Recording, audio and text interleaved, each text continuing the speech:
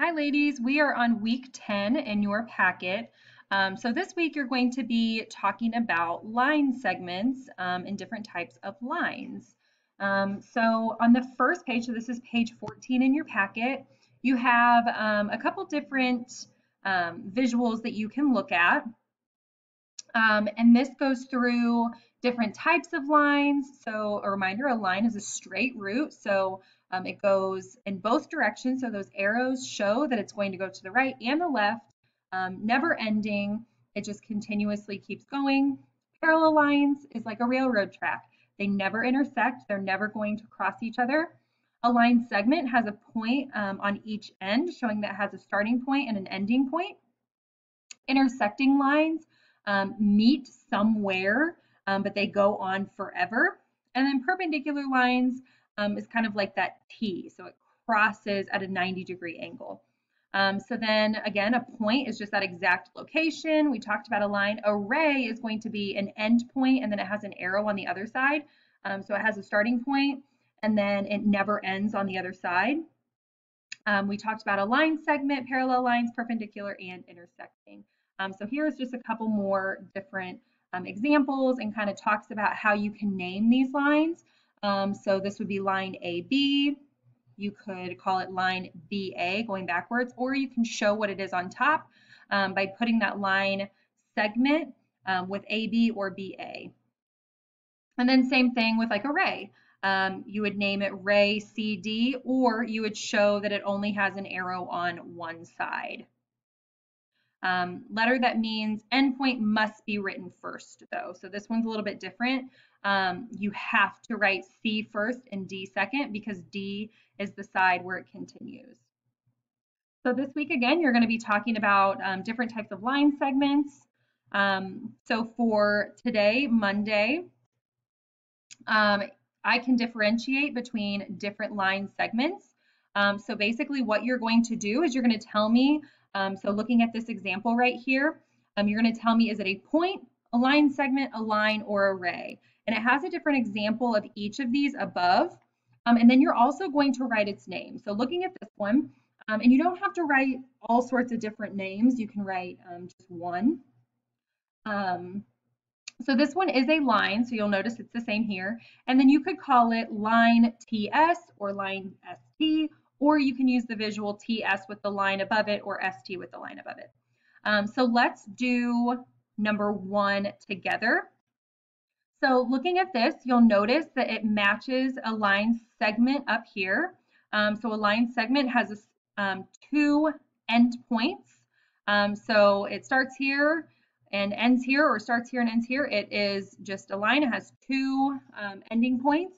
This is going to be a line segment. I'm going to try and write it as neatly as possible. Actually, I'll type it in if it will let me. So this is a line segment. Um, and then it also wants its name. So one way that we could name this would be to use the letters. So you could say CD and then reminder, if you wanted to write its name, you would just do a line above it.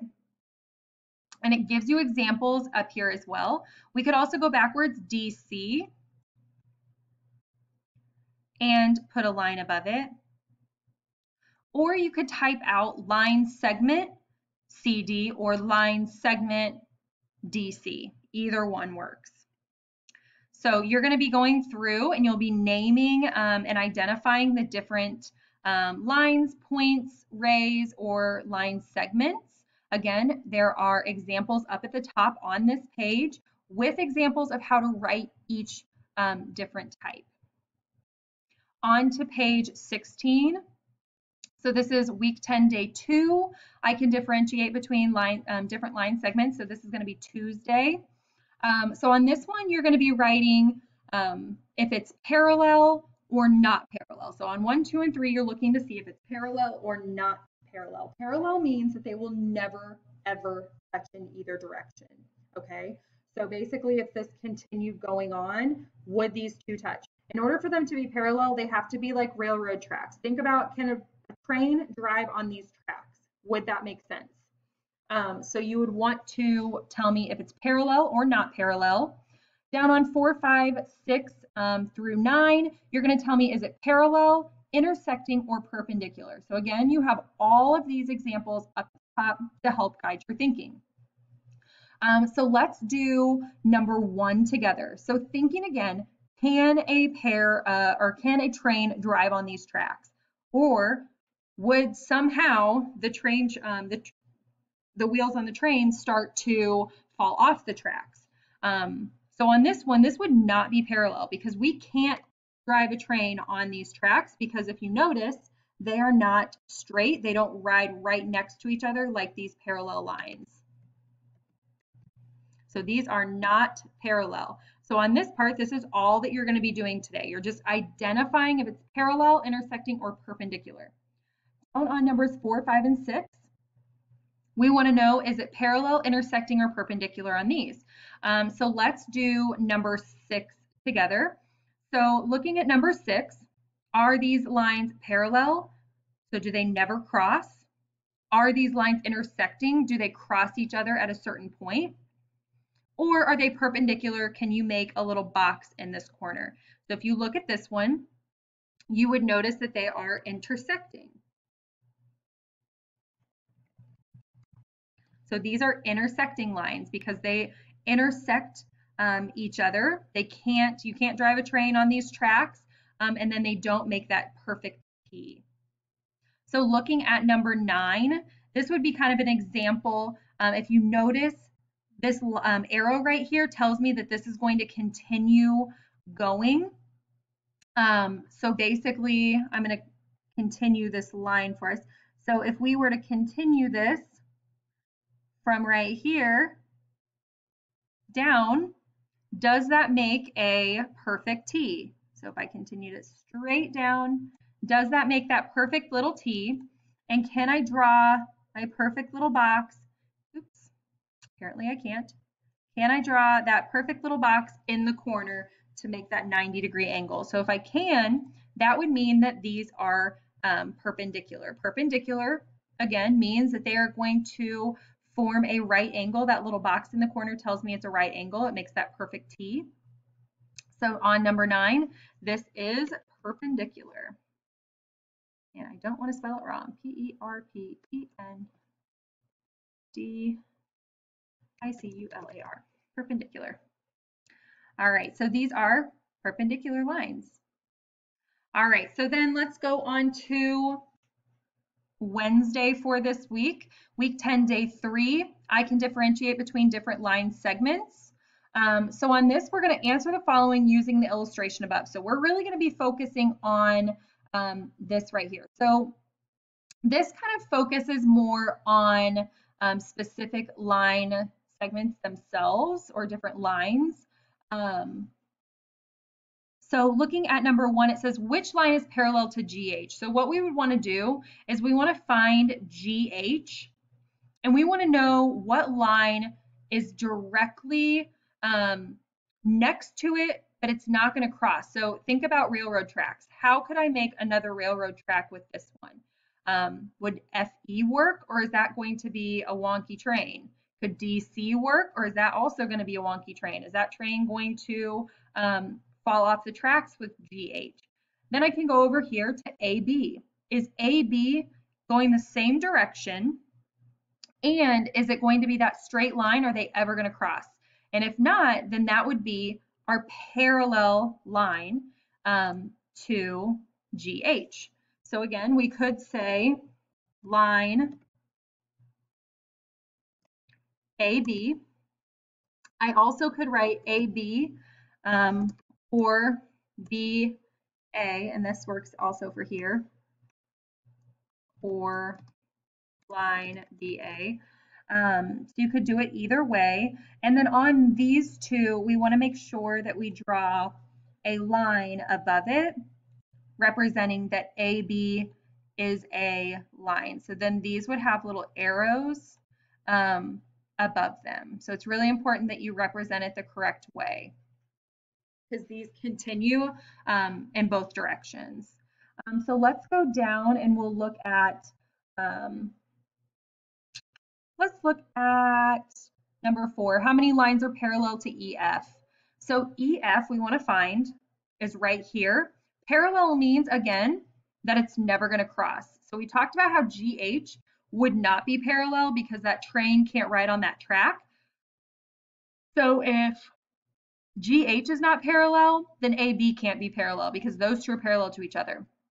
Something to remember is that parallel lines can be tilted, they can be sideways, they can be however we want them to be as long as they never cross.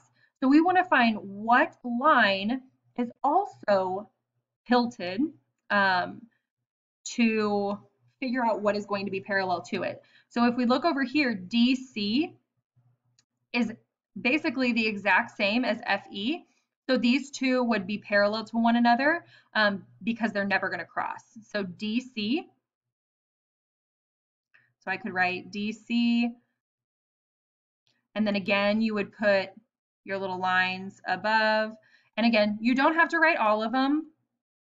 You can just pick one way to write it. That's fine. Um, or you could write it out as in line um, DC or line CD. All right, looking at page 18, week 10, day four, our learning target, I can differentiate between different line segments. On this one, we're looking at street names. All right, so each of these different street names um, is listed. So Walnut Avenue would be this long line right here. Elm Avenue is going to be right here, North Street up and down. So you kind of just want to see what's below it. Uh, McKinley Parkway is going to go um, horizontal, Lincoln Parkway horizontal, Maple Avenue, South Street, Beach Avenue, Virginia Street, Main Street. Um, so you kind of want to look at the street map and see telling whether each pair of streets is parallel, intersecting, or perpendicular. So if we let's look at number one, Elm Avenue and North Street. So we want to find Elm Avenue, which is right here. Um, let me get my highlighter.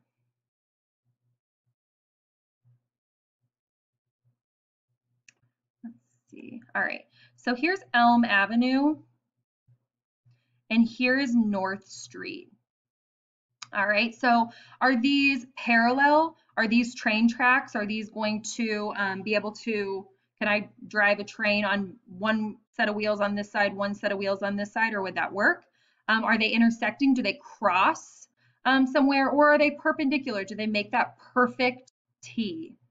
Okay, um, so looking at this one, you're going to notice they, they cross at that exact 90 degree angle. So then these streets would be perpendicular.